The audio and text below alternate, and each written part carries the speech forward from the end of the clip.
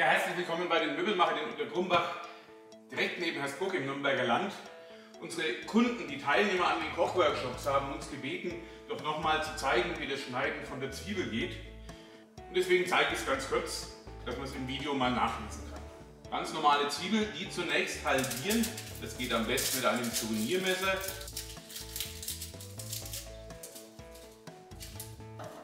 Und den Strunk dran lassen und jetzt schälen, indem man hier anpackt, nicht schneidet, sondern einfach nur zieht. Damit kann man die Zwiebel im Prinzip auf einmal hier schälen. Wieder hier anpacken, nicht richtig schneiden, sondern eher so festhalten. Ratzfatz ist so die Zwiebel geschält. Und jetzt nimmt man alle Finger einziehen vor allem den Daumen auch und das Messer hat immer Kontakt mit dem Knöchel hier.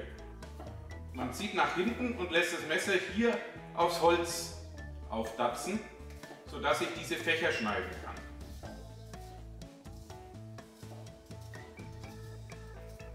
Jetzt habe ich die Zwiebel, die halbe Zwiebel, immer noch im Ganzen und ich drehe sie um 90 Grad. Jetzt gibt es ganz exakte Menschen, die schneiden hier noch so ein.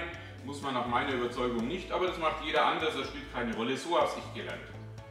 Jetzt wieder alle Finger, alle Finger einziehen, daran datzen und jetzt kann ich hier mit einem ziehenden Schnitt nach hinten einfach wegziehen. Und jetzt wird es ein bisschen blöd, da wird es jetzt zu steil. Jetzt klappt man die Zwiebel so nach vorne, dann kann man sie da am Stumpf sehr schön halten. Macht hier einige Schnitte und jetzt kann ich sie wieder zurückklappen. Und jetzt kann ich diesen ganzen Rest hier wunderbar bis zum Strunk hier schneiden. Ich zeige es nochmal. Also wieder einziehen alle Finger, hier dranbleiben am Finger, nach hinten ziehen, die Fächer schneiden. Das Ganze 90 Grad drehen. Wieder Finale, Rettungskralle, alle Finger dranbleiben. Dieser Knöchel hat immer Kontakt mit dem Messer. Nach hinten wegziehen, bis es hier blöd wird. Dann klappen, dann so lang schneiden, wie es so rum gut funktioniert. Dann wieder zurückklappen und jetzt einfach bis zum Strunk. Und der Strunk kommt in Kompost.